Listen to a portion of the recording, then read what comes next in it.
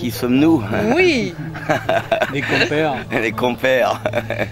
Les compères. Bon, mais ça, c'est Jean-Marc Rouillant. Et moi, c'est Jean-Henri Meunier, voilà quoi. Donc vous êtes euh, présent euh, donc, euh, pour euh, l'édition de Rencontre à la campagne. Euh, vous allez présenter un, un nouveau film. Donc euh, quel est-il et quand- quel en est le thème? Bah, le, le titre, c'est Faut savoir se contenter de beaucoup. Le thème, c'est deux rebelles à la recherche de la révolution, enfin, ou des sentiers, des, des poches de contestation, des. Enfin, je sais. Un- en fait, c'est un road movie burlesque et subversif. Voilà. Donc c'est pas un film passe-partout, j'imagine? Ah si, complètement, bien sûr. En- encore plus passe-partout que les autres. Il peut se faufiler même. C'est un, film, c'est un, un film qui se faufile de film en aiguille, quoi. Beaucoup de gens sont devenus assez aigris aussi, tu sais. Je le remarque que des gens que j'ai rencontrés qui étaient pleins de vie, ben maintenant ils sont pleins de, de chicaneries avec tout le monde. Oui, Et- beaucoup. Ils sont. et ils ont perdu le- la légèreté de, de la lutte révolutionnaire, tu vois. Et, et c'est souvent aussi parce qu'ils en ont assez d'eux-mêmes. Ils sont très déçus par eux. Mm. Ils, ont, ils ont rendu les armes. Ils vivent d'une façon maussade. Mm. Ils ne contrôlent pas bien leur existence. Ils, euh, ils ont fait plein de compromis. Mm. Et Ouais, ouais, ça, le, le cœur n'y est plus. Ils ne croient plus en rien. Ils ne misent plus sur eux ni sur les autres. Et il y en a beaucoup. Mais pas tous.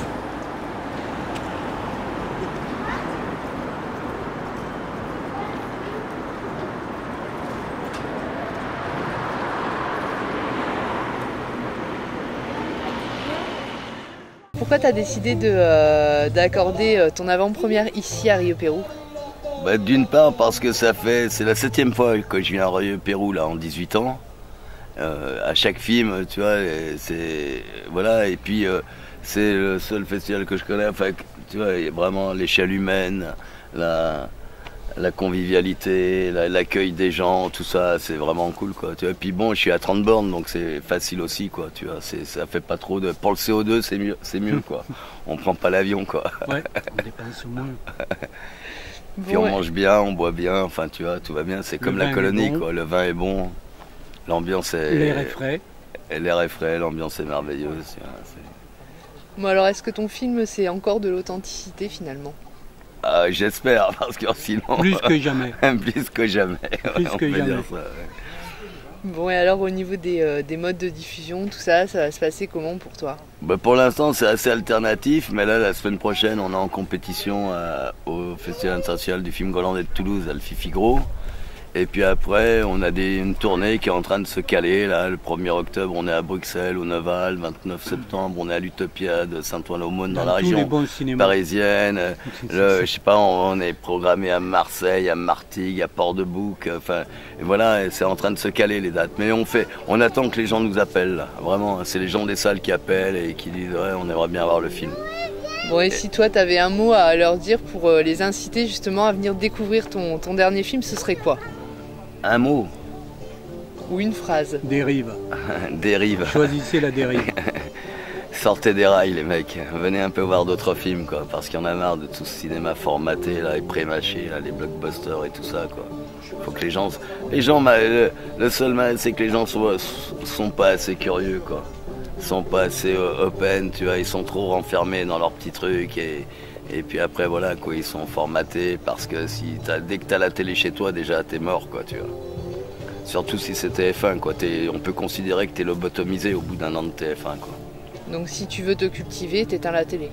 Euh, absolument, ça c'est une Et Tu évidence. vas voir les films. Ou alors tu regardes de temps en temps, euh, tu vois, Cultiver, ça certaines dépend de chaînes. quoi Oui, oui, ça dépend de quoi, ouais, mais tu vois, il y a, il y a quand même, bon, des fois sur Arte, il y a encore quelques programmes qui tiennent la route, bien que c'est beaucoup. euh, eux aussi, ils ont joué le jeu du business là, ces dernières années, quoi. Surtout depuis que les Allemands ont pris le dessus, quoi, dans la gestion d'Arte, quoi. Malheureusement. Ils ont gagné la guerre en fait, hein, tu vois, 45, 70 ans après. En Grèce aussi, ils ont gagné. Ouais, la guerre. et ils ont aussi gagné la guerre en Grèce, quoi, tu vois. D'ailleurs, t'as vu, on est à Athènes, Antifa quand même. Parce que ça, c'est un vrai malheur, quoi. Tu vois, voilà. Ce qu'ils ont fait subir à ce peuple, vraiment, quelle honte, quoi. Le mettre en pièces, le dévaliser. Et Palestine Antifa. tu vois, Palestine Antifa aussi. Donc c'est un film militant sur les militants? Non, pas du tout. Non, c'est non, non, c'est vraiment un road movie burlesque et, et- et subversif, mais bien sûr. C'est un film militant parce que c'est un film poétique, comme il sait les faire, comme il les a fait déjà pour la série de Najak. Il, il sait tisser, euh, il, il a de la texture euh, poétique et politique dans tous les, les films qu'il fait. Voilà.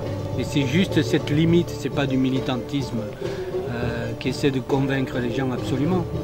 Il laisse venir les gens par la dérive, par, par, l'écoute et par, euh, par le chemin qu'il parcourt dans ses films. Ouais, c'est qu'un long cheminement, quoi. Mais le chemin est beaucoup plus intéressant que le but. hein. Une fois qu'il est atteint, euh, tu vois, attends, tu, voilà, quoi. Et c'est le parcours, quoi. Bon, et la suite pour toi alors?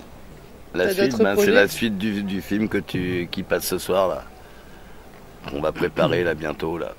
Il y a un deuxième film, avec les mêmes personnages. Il n'arrive pas à quitter ses acteurs, c'est incroyable pour un réalisateur.